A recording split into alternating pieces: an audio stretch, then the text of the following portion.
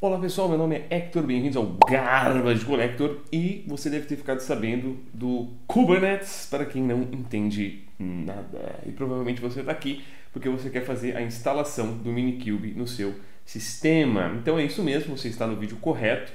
Me acompanhe nesse vídeo então para entender como instalar o Minikube no Fedora ou no Ubuntu. Quem utiliza outros Linux, basta é, converter ali os pacotes que você precisa instalar para o seu próprio sistema. Imagino que as pessoas consigam seguir outras documentações. Beleza? Então, vamos lá para a nossa instalação do Minikube. O nosso querido Fedora, ou como eu chamava antes, Fedorinha, ou também algumas vezes Fedorento, vamos fazer a instalação do Minikube. Uh, vou já abrir um terminal aqui. Opa terminal, aumentar a fonte, deixa eu jogar ele aqui pro também, né? Beleza. E vamos abrir o Firefox. E aí a gente vai procurar pelo quê? Por Minikube install, aí no seu buscador favorito, Minikube install. E você vai achar essa primeira página aqui, ó, Minikube start. Eu vou clicar aqui e ele vai dar dois comandos. Tem algumas formas de instalar o Minikube, tá? No caso do Linux aqui. Ele vai dar dois comandos para você baixar e instalar ele na hora, ou você pode instalar ele através de um pacote. Eu vou fazer dessa forma aqui, tá? Deixa eu aumentar um pouco a fonte. Aí. Eu vou fazer dessa forma aqui.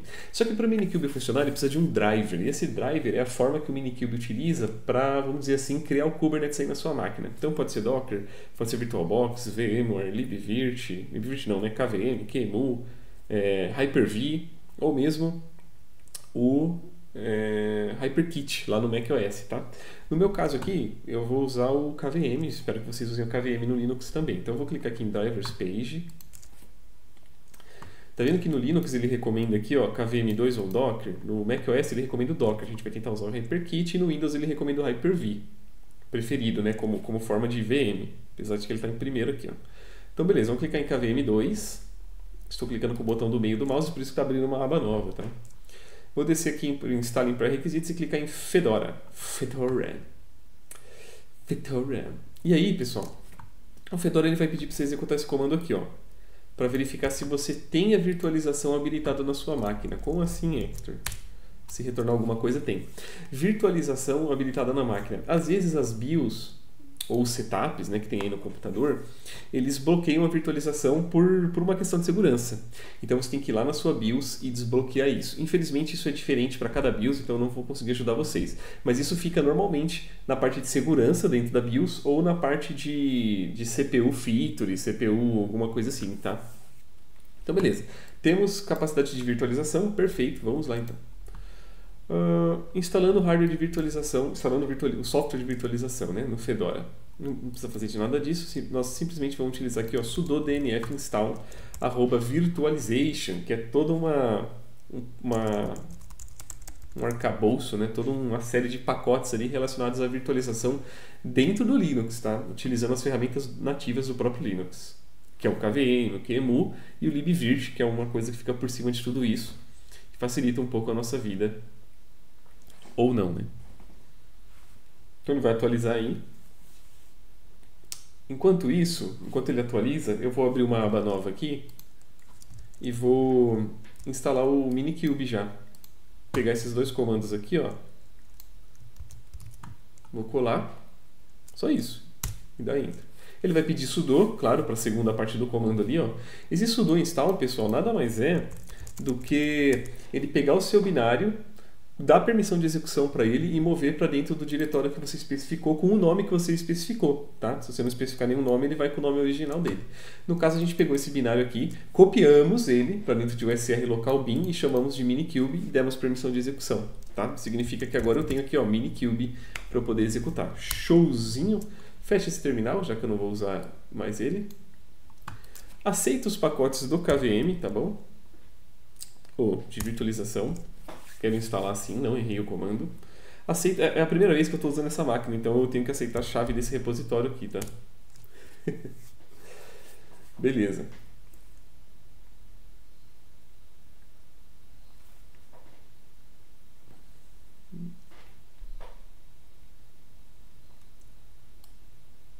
Aqui ele instalou o VirtViewer. No Ubuntu ele não instala o VirtViewer, né? Tive que mostrar pelo próprio console ali. Legal. Feito isso, pessoal, acabou. Instalamos o Minikube, foi bem rapidinho, né? Instalamos o, o, pacote de virtualização? Ainda não. A gente vai precisar fazer uma coisa a mais. Ó. A gente vai precisar executar o gpaswd aqui. Ó. Tem várias formas.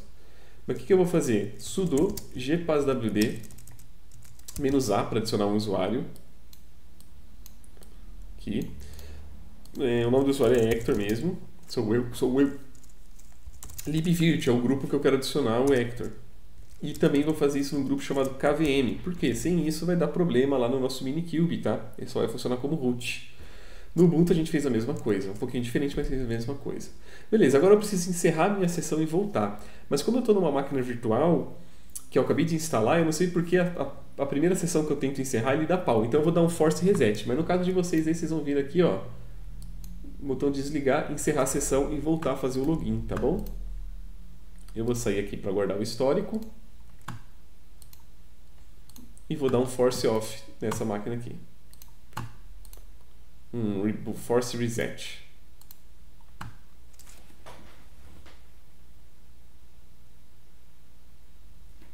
Vou voltar ela aqui para full screen já, tela cheia. Hector Vido. Tem gente que fala que meu nome parece nome de artista, né? Eu não, nunca enxerguei dessa forma, não. Mas pode ser síndrome do vira-lata, né? Olha, a gente sendo mais sincero do que devia numa gravação. Então vamos lá, Minikube, agora sim, Minikube Start. Deixa eu voltar lá no Firefox para mostrar um negócio para vocês. Hum, ele não salvou as abas, né? Tudo bem. Minikube. Opa. Eu vou entrar na página de drivers aqui do Mini, do KVM2 do Minikube, só para mostrar um negócio para vocês. O que, acontece? Quando a gente instala um drive, a gente pode a gente pode ter mais de um drive na nossa máquina, VirtualBox, Docker, etc. E aí o Minikube vai tentar achar um por padrão. Caso você queira especificar um drive, você pode fazer isso aqui, ó, traço, traço driver KVM2. No nosso caso, no meu caso aqui, só tem o KVM2. Então ele vai. Só tem o libvirt, né? Então ele vai identificar que dá para usar o KVM2 e vai no KVM2 por padrão. Mas eu vou copiar esse aqui só para ficar claro aí para vocês, tá bom? Se você quiser setar ele, configurar ele como padrão, você pode fazer isso aqui, ó. Tranquilo. Vamos executar então esse comando aqui, ó. E aí, pessoal, o Minikube ele também suporta algumas coisas. Por exemplo, deixa eu tirar o drive aqui para ficar mais fácil de ler.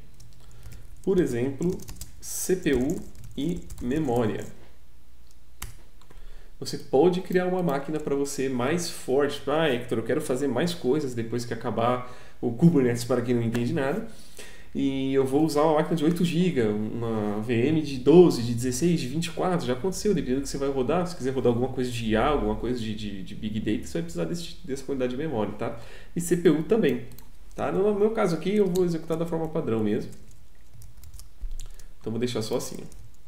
Se você quisesse, claro, traço, traço, memory, assim vai. Você pode até criar outros nós do Minikube, né? Conforme eu mostrei no meu vídeo já, onde eu explico melhor como funciona o Minikube. Então se você tem dúvidas aí sobre como funciona o Minikube, tem um vídeo meu que eu explico um pouco mais a respeito disso. Olha lá, ele vai baixar o driver, o KVM2, né, que é um binário. Depois disso, ele vai baixar a ISO do próprio Minikube. Essa ISO é a imagem da máquina do Minikube, tá? E ao final da, de ele baixar essa ISO, ele vai baixar as imagens de containers. Olha lá, ó. agora ele está baixando as imagens de containers que o Kubernetes vai utilizar. Né? As imagens, por exemplo, do control plane ou de outras coisas que a gente precisa. Control plane, no caso do Kubernetes, são ah, os containers que cuidam da infraestrutura, né? eles são o núcleo do Kubernetes. O scheduler, o controller, o etcd, esse tipo de coisa, tá? A, própria API, né, que a gente conversa com o Kubernetes. E agora ele está criando o KVM. Por curiosidade, pessoal, se você tiver aí o VirtViewer, você pode abrir o VirtViewer e vai aparecer aqui, eventualmente, o Minikube é lá. Ou seja, ele criou uma máquina virtual para você. Se você não tem o VirtViewer, igual aconteceu lá no Ubuntu, você pode executar, por exemplo, sudo virsh list. E aí vai aparecer o Minikube aqui, o estado dele. Está running, ou em português, executando. Virsh. Tudo bem? Eu uso bastante esse cara aqui, tá? Uso bastante mesmo. o VirtViewer. VirtViewer não, desculpa, o Virt Manager. É Virt Manager, né? Virt... É, Virt Manager. É que ele chama de gerenciador de máquinas virtuais. Mas o binário, só confirmar aqui, é Virt Manager, isso mesmo. Não estou louco. Aí, ó. Tá criando a máquina, terminou de criar a máquina, gerou o certificado, etc, etc. Pum, Kubernetes está rodando. O que a gente vai fazer para testar? Minikube, kubectl, get nodes. O, o, o kubectl é o comando que a gente utiliza para se comunicar com o Kubernetes. E o Minikube ele tem uma facilidade que ele baixa o binário internamente nele aí e você consegue utilizar, tá bom? Para ver se está funcionando. Eu vou executar o comando de novo, só que a tela vai ficar mais limpa agora porque ele já baixou o kubectl internamente. Aí. Só que nós não vamos executar dessa forma. Nós vamos, lembra? Eu quero fazer com que seja o mais próximo possível de uma experiência de cloud, por exemplo. Então nós vamos baixar o kubectl da internet. Então vamos procurar aqui, ó, kubectl install. Ele vai instalar da mesma maneira que instalamos o, o Minikube, praticamente.